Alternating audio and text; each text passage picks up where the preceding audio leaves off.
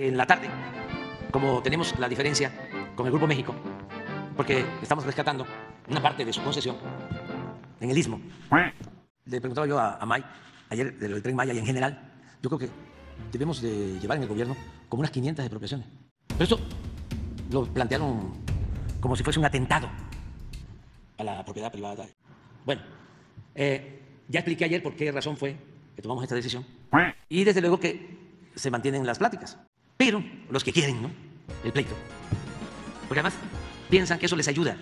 Entonces, ¿qué pasa ayer en la tarde? Sale un tweet. ¿No lo pones? ¡Producción! Ya no iba a comprar este el Grupo México Banamex. Según esto, porque no hay eh, seguridad jurídica en México. Voy a pagar 7 mil millones de dólares por algo que mañana me pueden quitar. Ya después se supo que es una mentira.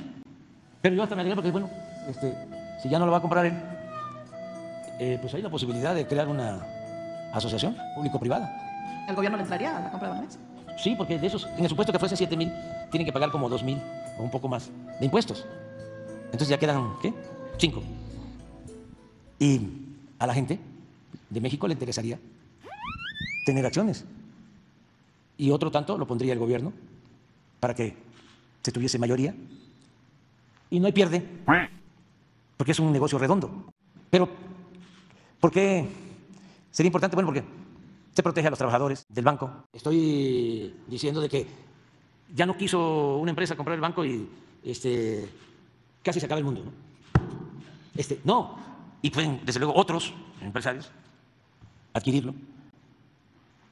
Pero además, eh, no es cierto, fue una volada.